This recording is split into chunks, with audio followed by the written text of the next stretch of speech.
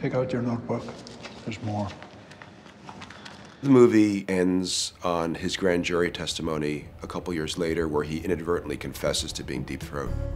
And I love that scene visually because it's Mark Felt, Liam Neeson, in a chair in the middle of a room, an island, surrounded by citizens and prosecutors, and they're all gunning for him. They have no idea what a hero he really is. And to me, that scene epitomizes what the entire film is about.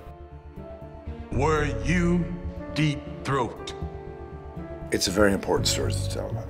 The free press have to be allowed to examine the facts, get hold of the facts, and our leaders have to be held accountable. The President of the United States is not above the law.